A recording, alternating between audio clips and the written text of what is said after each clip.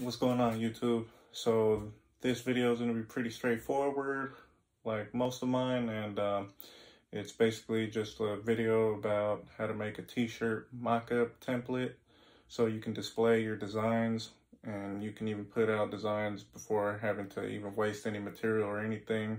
The key is to keep it a bit simple and um, yeah, I hope you guys enjoy the video and I, I hope it helps out in some type of way.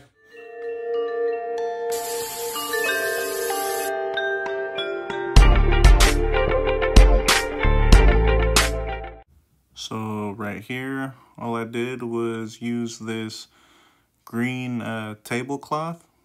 It's like probably like a dollar or something at Dollar Tree. I'm not sure where my wife got it for me from. But um, yeah, just laid it down flat on the floor as good as I can. And then I use two Alstyle 1301 t-shirts, one black, one white. You can do this with any color that you want. Uh, I just chose these because it's a lot more simple to use um, black and white t-shirts because if you get more of different colors, the more colors you have, the more sizes there is. So you got to always keep in mind that, you know, if you want to have 20 different colors, you gotta have size extra small through 3 or 4XL or whatever, and that gets really costly. So now I'm going to put this into Procreate, and one of my latest videos shows you on how to extract backgrounds. So this is what I'm doing right here. I'm removing the background of the green that's the whole point of me using the green sheet is just to have one solid color so it's easier to remove the background from it. So now that I removed it, I'm just going to do some tampering with the with the t-shirt. So there's a few different ways you can do this. How I like to do it is I go to the top left corner in the settings and go to adjustments click on layer and I adjust the the saturation and brightness of the shirt. And that way I can get it best to the to the best color you know? And I'm just gonna try to make it as realistic as possible.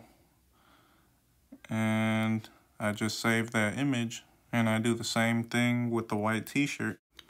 So let me just set this up real quick. Gonna take the background off, make it a transparent image by deleting the background and the layers. And now I'm going to import an image to show you what it looks like. And I haven't adjusted the brightness or saturation on the t-shirt. I'm uh, about to show it to you right now. Let me just size it real quick. And this is about how the average t-shirt would look. And now I'm going to go back to the layer of the t-shirt. I'm going to do the same thing I did with the other one and adjust it to make it look as good as I can. So here we go.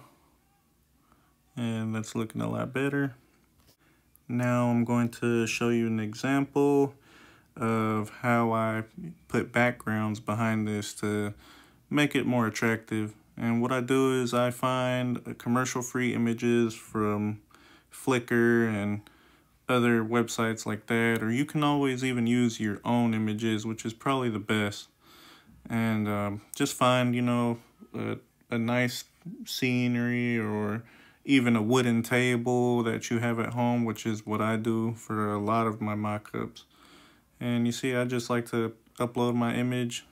I haven't actually done the shirt like this, but um, I plan to maybe DTG or I'll get some Supacolor transfers maybe. So yeah, this is basically the way, the easiest way for me to do mockups. You can always pay for a service to to do them for you and they have their own little models or anything, but um, this is just how I do it and also you can see I'm gonna show you my website and this is how I do them and you can order from me or you can add me on IG if you want to see how the shirts look that are actually on the shirt um, they pretty much look exactly the same. So thank you for watching. I hope this helped. And I'll try my hardest to find more time to upload more videos.